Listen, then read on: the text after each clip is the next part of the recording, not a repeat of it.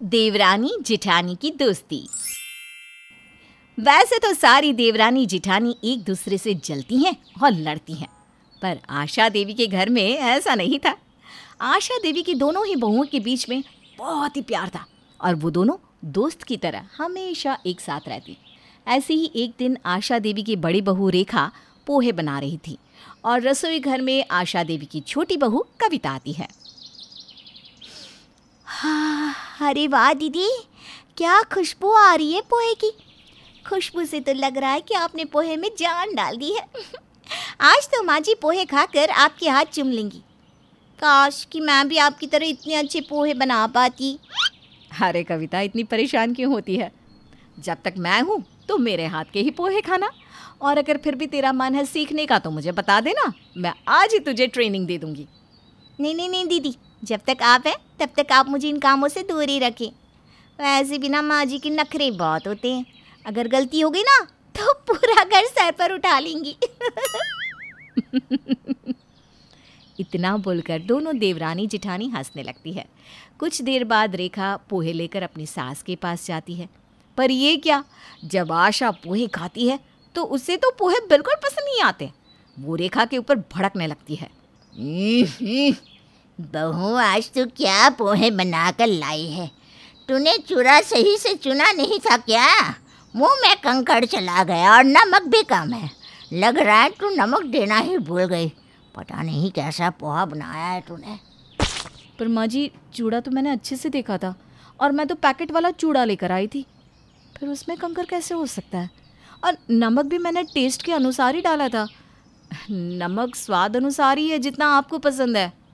तो इसका मतलब मैं झूठ बोल रही हूँ। वाह वाह वाह। उल्टा चोर कोटवाल को डांटे।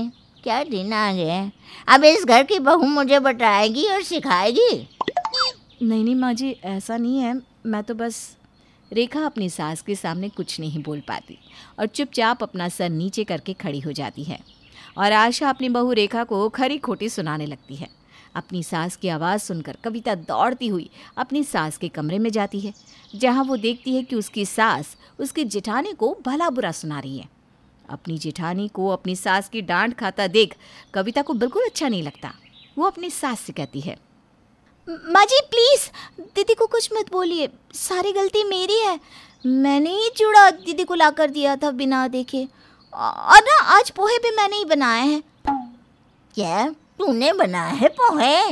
जब तक तुझे पोहे बनाने नहीं आते तो तूने इन पोहे में हाथ क्यों लगाया? तू जानती है ना खाने के साथ मुझे मज़ाक पसंद नहीं? माफ़ करना माँ जी मैं बस बनाना सीख रही थी ताकि कभी दीदी अपने मायके जाए या जब घर में दीदी ना रहे तो मैं आपको पोहे बना कर दे सकूँ ना? इस तरह से कविता अपनी जिठानी को अपनी सास की डांट से बचा लेती है और खुद सास की डांट सुन लेती है। कुछ देर बाद आशा की दोनों बहुएँ वहाँ से चली जाती है और रेखा कविता से कहती है। कविता तूने ऐसा क्यों किया? गलती तो मुझसे हुई थी ना फिर तूने क्यों डांट खाई? दीदी जब मुझसे कोई गलती होती है तब आप भी तो मुझे बचा लेती हो ना? फिर मैं आपको कैसे डांट खाने देती? और वैसे भी ना पोहे बहुत अच्छे बने पर पता नहीं क्यों आज माँ जी इतना भड़क रही है। ये सारी गलती ना उस कंकड़ की है। न जाने वो कंकड़ कबर कहाँ से आकर टपक गया। अच्छा छोड़। जो होना था वो तो हो गया। पर आगे से ना तू ऐसा दोबारा नहीं करेगी, समझी? मुझे अच्छा नहीं लगता, तुझे डांट सुनते देख। रेखा और कविता के बीच में इतना ज़्यादा प्यार था कि वो दोनों अक्सर एक दूसरे को बचा लेती, जब भी आशा देवी उनमें से किसी एक को डांट रही होती। अब ऐसे ही कुछ दिन बीत जाते हैं। एक दिन कविता से रोटी जल जाती है। रोटी जलने की महक आशा देवी के नाक में चली जाती है। अब क्या था? आशा देवी को खाने के साथ ज़रा भी कॉम्प्रोमाइज़ करना पसंद नहीं था। वो जल्दी से रसोई घर में आती है और कविता पर बरस पड़ती है। कविता बहू तुझसे एक काम नहीं होता। रसोई घर में एक रोटी का काम होता है और वो भी आज तूने जला दी। अरे मुझे बताएगी कि ऐसा कौन सा काम है जो सही से कर सकती है? नहीं नहीं माँ जी कविता की कोई गलती नहीं है। आज मैं रोटी बना रही थी, वो आखिरी रोटी थी ना तो मैंने गैस कम कर दिया और दूसरा काम करने लगी।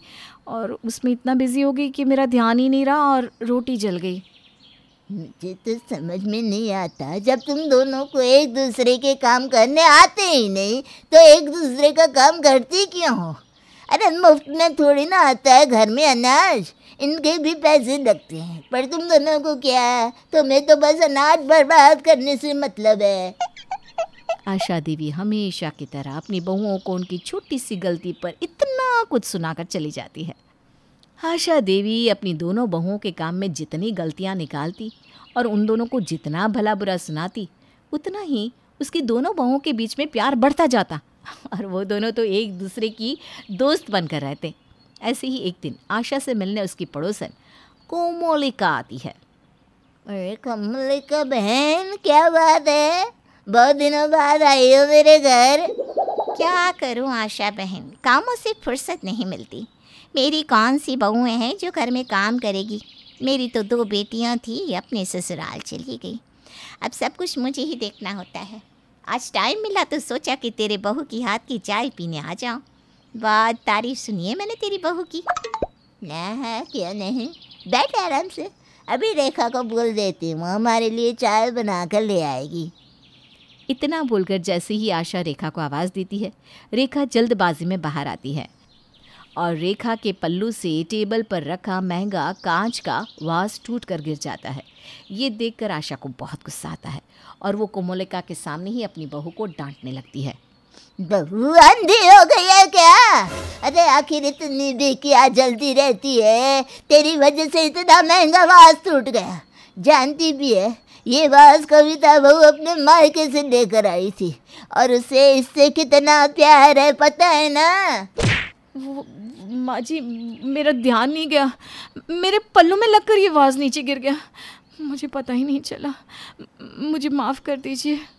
हमेशा तुझसे गलतियाँ होती है अब बता कहाँ से ला कर देगी तू कविता बहू को उसका कीमती वास आशा बहन आशा बहन शांत हो जाओ वासी तो था ना कांच की चीज़ें तो अक्सर टूट जाया करती है इतना क्यों भड़क रही हो आशा कोमलिका की बातों का कोई जवाब देती उससे पहले ही वहाँ पर कविता आ जाती है और टूटा हुआ आवाज़ देखकर दुखी हो जाती है पर जब वो देखती है कि उसकी जिठानी डांट सुन रही है तो वो मुस्कुराते हुए अपनी सास से कहती है, माँ जी, शांत हो जाइए, वरना आपका बीपी बढ़ जाएगा। और ये एक मामूली सा वाजी तो था।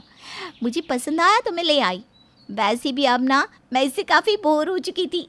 मैं तो इसे बदलने ही वाली थी। दीदी अच्छा हुआ जो ये टूट गया। प्लीज़ आप रोना बंद कर दीजिए।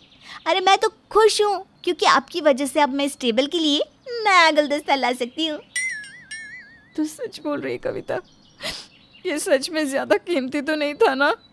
अरे नहीं नहीं दीदी, मैं सच बोल रही हूँ। ये एक मामूली सा आवाज़ था।